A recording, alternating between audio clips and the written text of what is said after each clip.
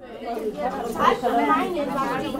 are in a children's center in Streatham, which is uh, South London, and we have invited all the Somali families and their children as well because nowadays we hear that Somali young people are going to become jihadist brides. So I thought it's a good idea to educate these parents as well.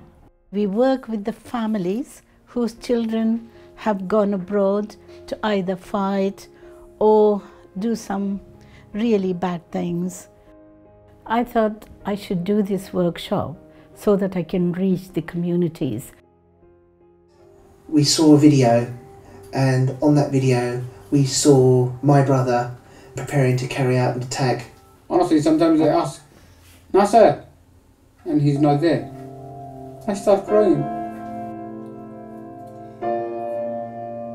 So difficult, you know, when you see a parent, you know, with heartbreak and uh, they lost their children to the, you know, to the Islamic sta- state. If a young person goes away, parents suffer. So I hope they have learned something today.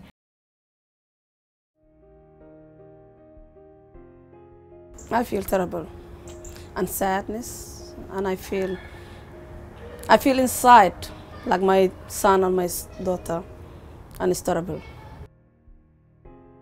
The mothers are very much informed. They are very confident now, and they said they know what to do if they find any signs of their children going away or planning to go away. We have to, you know, to, to talk our kids and, and to encourage them and to persuade them.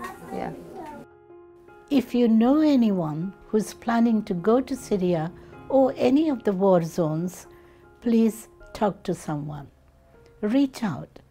As a mom, think what I'm thinking. Take care for your children, look after, know, be friend with your child, be friend with your daughters and sons.